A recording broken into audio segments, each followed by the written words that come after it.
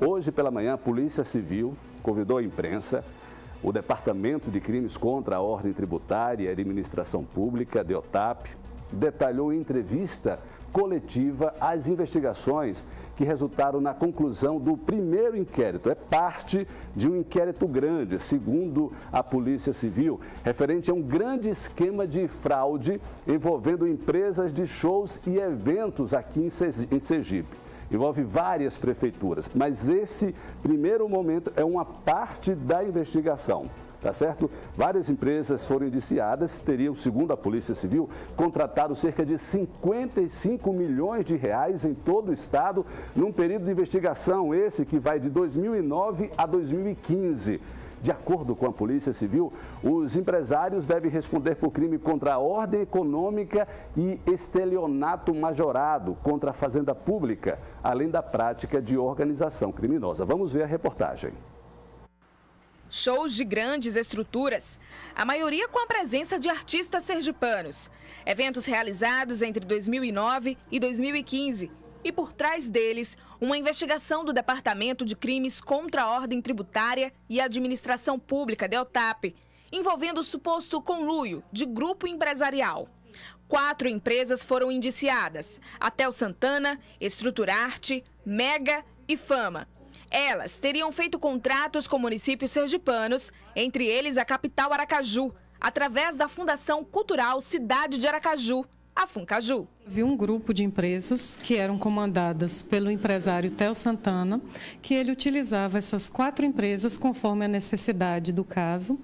É, e do interesse dele para contratar perante órgãos públicos.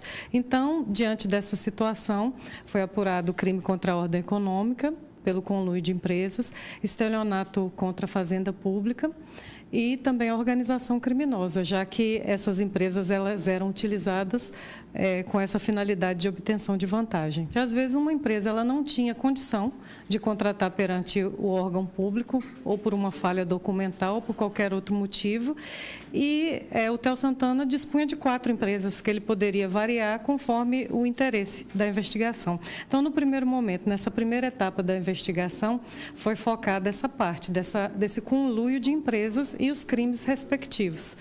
É, e também, nesse primeiro inquérito, foi apurada foi apurado contrato por contrato celebrado entre essas quatro empresas e a Funcaju no período de 2009 a 2015. As investigações da Polícia Civil apontam que o grupo empresarial realizou contratos com a Funcaju em 2013.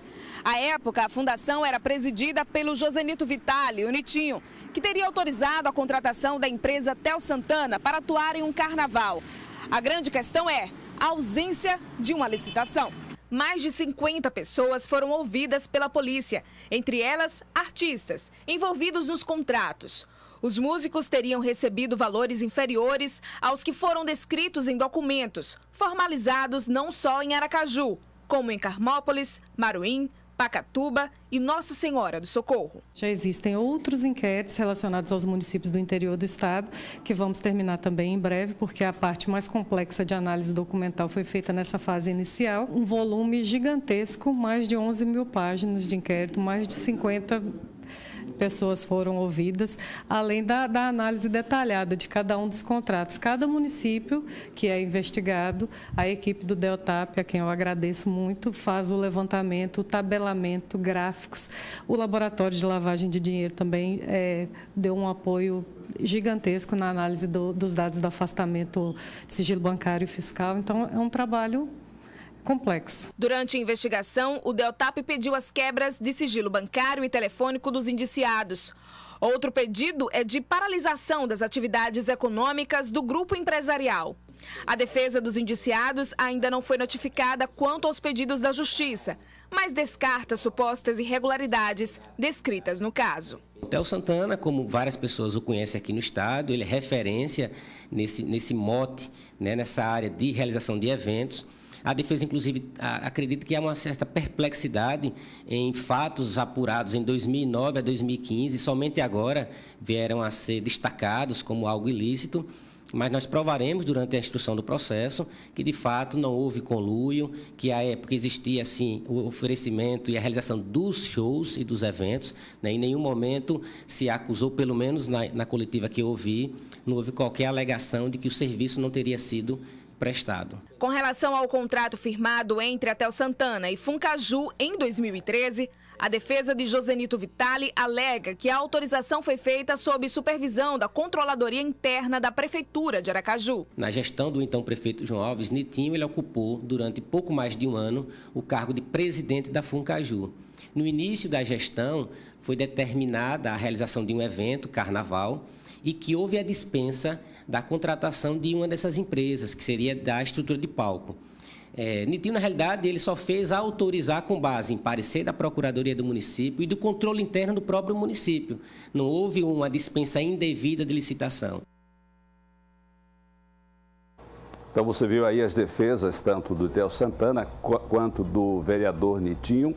É, a gente tem procurado falar com todos os indiciados, é, não conseguimos falar com todos. O caso agora será encaminhado para o Ministério Público Estadual e deve ser tramitado na terceira vara criminal. A gente lembra que essa investigação é antiga, ó. Delegada Daniele Garcia começou essa investigação e, se eu não me engano, ela chegou a concluir na época que tudo isso foi levantado.